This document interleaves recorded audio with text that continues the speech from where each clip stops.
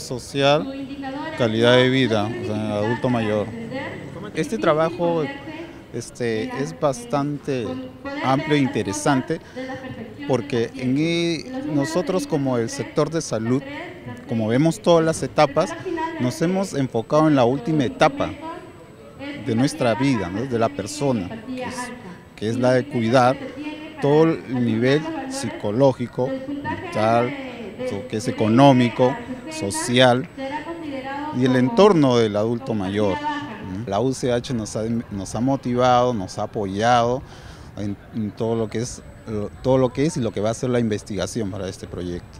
Mi trabajo es acoso escolar y autoestima en una institución privada de Lima Norte, 2017. El proyecto consiste en hacer las encuestas en una institución educativa y de acuerdo a ello vamos a ver el nivel de acoso escolar eh, que cuenta el colegio, la institución educativa, y también relacionada a la autoestima con, que, con la que cuentan los estudiantes. Hemos detectado que hay problemas de depresión en los niños, también hay casos de de que ellos mismos te manifiestan, ¿no? Por el mismo contacto que tienes con ellos, que, se sienten mal, que no quieren hacer los trabajos, que no quieren venir al colegio. Bueno, en la UCH me están motivando a hacer la investigación y para mí eso es muy grande, ¿no? No solo me ayuda como enfermera, sino que me ayuda así como para hacer más participativa, comunicativa, a poder eh, presentar eh, trabajos de investigación y que sean a mi nombre, ¿no? Bien, eh, mi título de investigación es funcionalidad familiar según tipo de familia en familias del centro comercial eh, Lima Norte. Este es un trabajo en el cual eh, la salud familiar implica, es algo muy importante en, la sociedad. Sabemos que la familia es el núcleo de la sociedad y pues es algo muy importante trabajar en la familia, la parte emocional. No solamente es este, la parte clínica, que la mayoría de nuestra carrera aplica, sino que también este, cómo está estructurada, más que todo. Empatía e inteligencia emocional en estudiantes de de la carrera de enfermería en una universidad privada de Lima Norte. Este trabajo este, lo hemos hecho más que todo, nuestra iniciativa más que todo ha sido porque hoy en día se habla mucho sobre la, el trato holístico que tenemos que brindar nosotras las enfermeras y, vemos mucho que la empatía y la inteligencia emocional influyen para nosotros tener un buen trato hacia el paciente.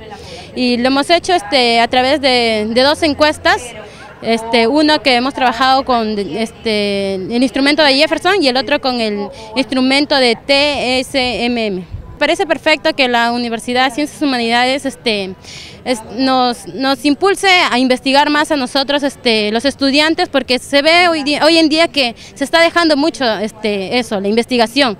Y bueno, me parece que que está bien porque nos, nos incentiva a seguir estudiando, a seguir siendo mejores a través de la lectura. ¿no? Es funcionalidad familiar y oportunidades perdidas en niños menores de 5 años en un establecimiento específico de Los Olivos. Se trata sobre, para ver una recorrelación, si hay, si hay un factor de riesgo, si hay un factor relevante en oportunidades perdidas, ¿por qué los niños no acuden a un establecimiento a vacunarse? ¿Cuál es el factor específico de esas oportunidades perdidas? Actualmente estábamos haciendo prácticas ahí en el establecimiento de salud y vimos, cuando hicimos visitas, vimos muchos niños que no son vacunados.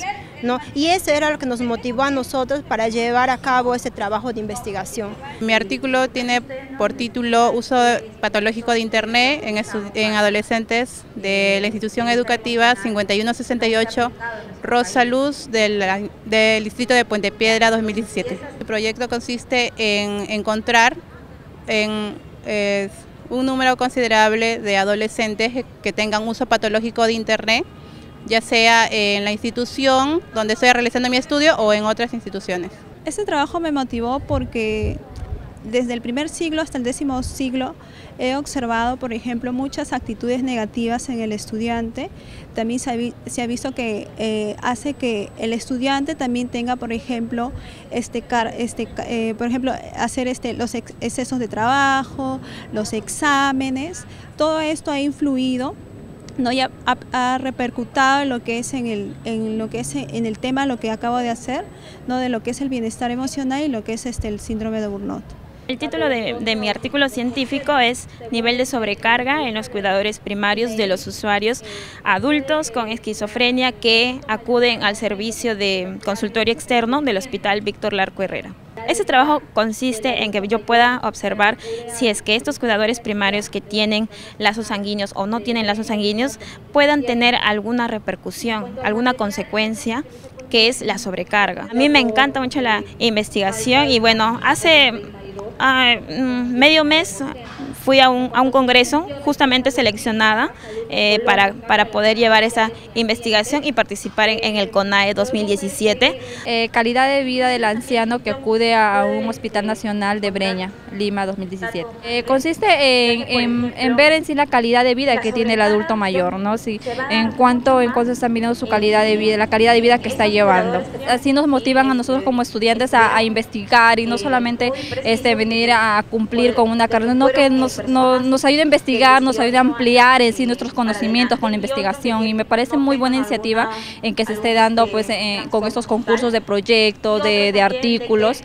eh, me parece muy bien. Y como podemos observar que en aquellos alumnos que provienen de una funcionalidad familiar normal, presentan o hay un mayor porcentaje de alumnos con estima alta y poca cantidad, mínima cantidad con estima baja.